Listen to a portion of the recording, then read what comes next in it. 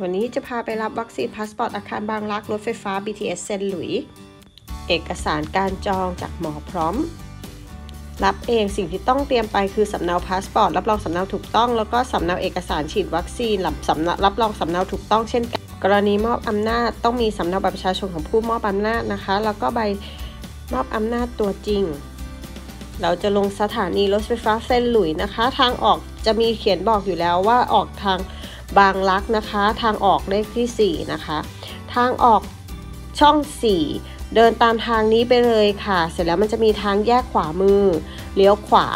ขวาเสร็จแล้วจะมีทางแยก 2 ทางคือ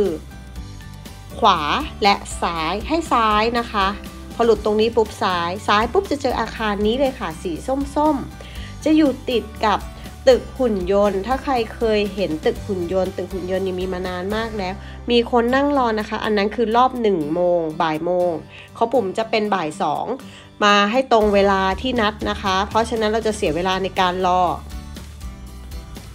พอเดินเข้ามาแล้วจะมีโต๊ะซ้ายมือค่ะ ตรงเจ้าหน้าที่นะคะ อันนี้คืออาคารบางรักด้านหน้า มองด้านหน้าจะเป็นแบบนี้ลงเห็นไหมตึกหุ่นยนต์อยู่ตรงนั้นนะคะ สถานีรถไฟฟ้าเซนหลุยส์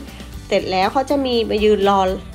แล้วเขาจะให้เบอร์นะคะ ของปุ่มได้เบอร์ 11 เขาก็จะเรียกตามคิวขึ้นไป ให้พอดีกับลิฟต์ไม่ให้คนเข้ามาเยอะลิฟต์ละ 4 คนเท่านั้นนะคะ ด้านล่าง อันนี้คือห้องนั่งรอเลข พอขึ้นไปปุ๊บเนี่ยเขาจะมีให้เลขใหม่นะคะ เป็นเลขแบบใหม่ ก็คือรอสำหรับเรียกเข้ามาในห้องนี้ ห้องนี้ก็คือห้องของเจ้าหน้าที่นะคะ ก็คือมารับเอกสารแล้วจ่ายเงิน 50 บาท แล้วเราก็ได้มาแล้วค่ะ อันนี้คือวัคซีนพาสปอร์ตเรียบร้อย พกพาไปไหนสะดวกสบายค่ะ ด้านในเขาจะมีรายละเอียดต่างๆ ให้นะคะ เข็ม 1 เข็ม 2 ใครมีเข็ม 3 ก็จะมีเข็มสามให้อีกหน้าหนึ่งนะคะ ถ้าคลิปนี้มีประโยชน์รบกวนฝากกดไลค์กดแชร์นะคะ แล้วเจอกันใหม่ในคลิปหน้าสวัสดีค่ะ